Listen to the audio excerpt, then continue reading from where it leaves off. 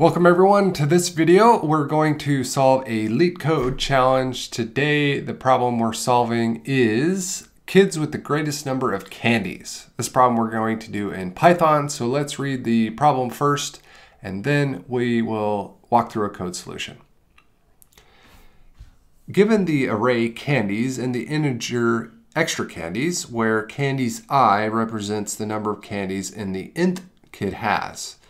For each kid, check if there is a way to distribute extra candies among the kids such that he or she can have the greatest number of candies among them.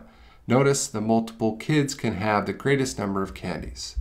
Let's go through an example so we can explain this.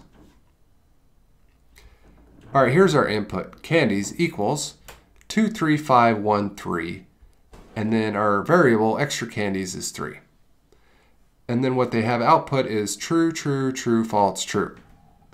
So what does that mean? Let's go through the explanation. So each one of these values in the set, so 2, that means our first kid has 2 candies, our second kid has 3, and so on.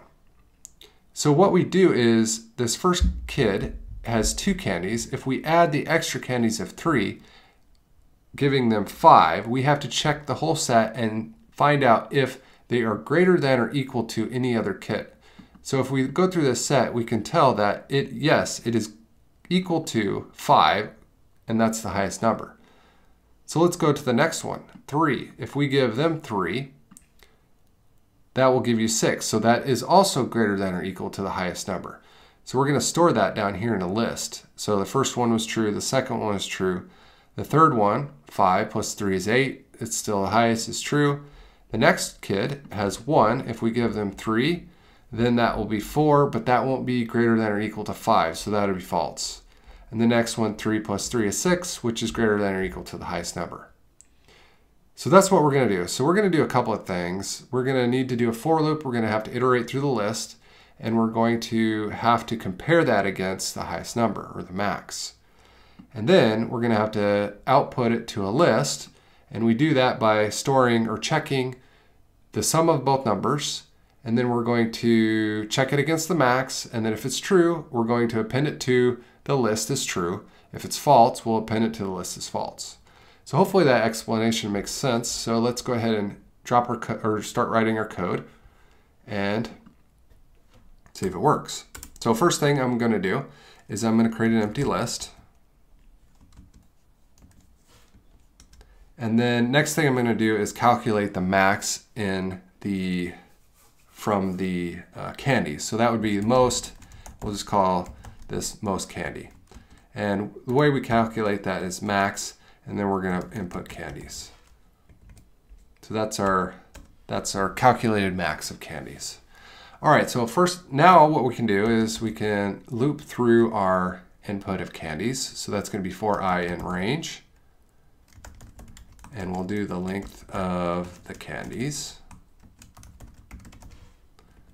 All right, so first we're to if statement. So what we're to do is calculate the candies at position, which the first position in this example, and we'll iterate through those positions. And then we're going to add extra candies, which it gives us. And then we're to find out if that is greater than or equal to the most candies. So how that looks is if candies at position i plus extra candies is greater than or equal to most candies or most candy. That's what my variable is. And if that's true, we're going to append it to the list we created. So list dot append, and we called it list. Oh no, sorry. Uh, I want to say true because we're outputting true or false. So we'll say true.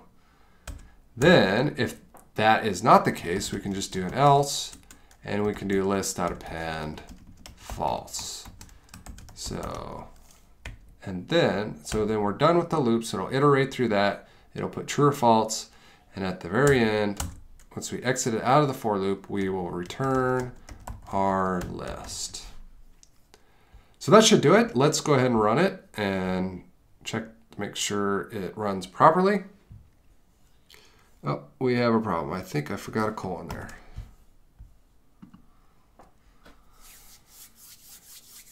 There we go. It is accepted. And we can also just run all test cases, make sure uh, make sure that it runs through all of them.